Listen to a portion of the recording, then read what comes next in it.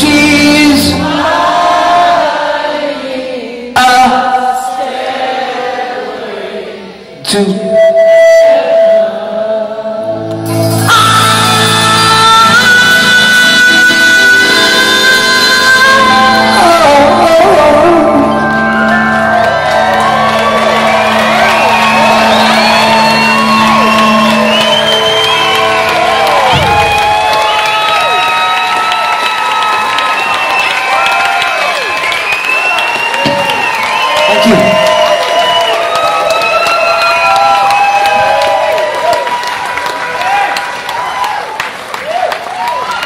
All right, we got a couple more songs to go.